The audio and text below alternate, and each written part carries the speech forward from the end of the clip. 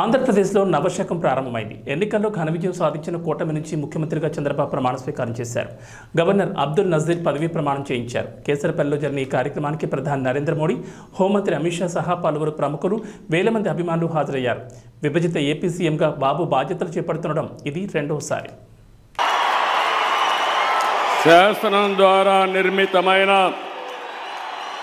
భారత రాజ్యాంగం పట్ల నిజమైన విశ్వాసం విధేయత చూపుతానని భారతదేశ సార్వభౌమాధికారాన్ని సమగ్రతను కాపాడుతానని ఆంధ్రప్రదేశ్ రాష్ట్ర ముఖ్యమంత్రిగా